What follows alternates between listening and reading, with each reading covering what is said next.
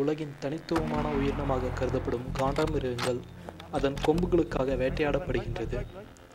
காண்டாமிருகங்களை பற்றி மக்களுக்கு அதிக விழிப்புணர்வு ஏற்படுத்துவதோடு இந்த அற்புதமான உயிரினங்களில் எஞ்சியிருப்பதை பாதுகாப்பதையும் நோக்கமாக கொண்டு ஒவ்வொரு ஆண்டும் செப்டம்பர் இருபத்தி ரெண்டாம் தேதி உலக காண்டாமிருக தினம் கொண்டாடப்படுகிறது.